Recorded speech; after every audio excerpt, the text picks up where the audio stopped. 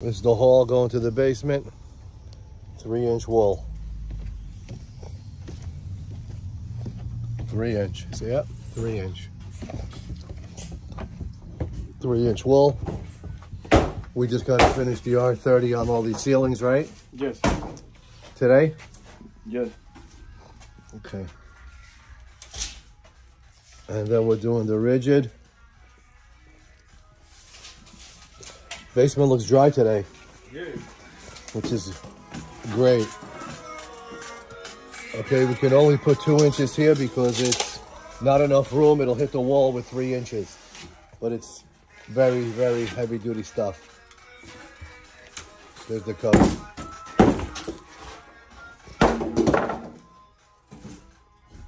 Looking good on the basement. The basement is dry. Can't wait to get power. Okay? And an R30 on the ceiling. All down here. Looking good. Excellent. They even fire stopped it. Excellent.